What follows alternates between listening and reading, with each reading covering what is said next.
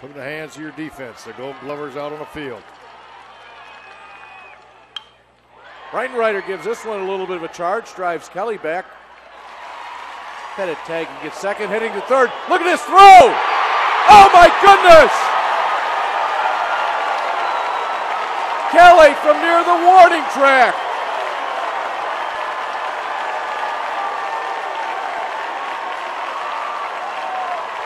That was one of the most amazing throws I've seen in all my years fo- following high school baseball.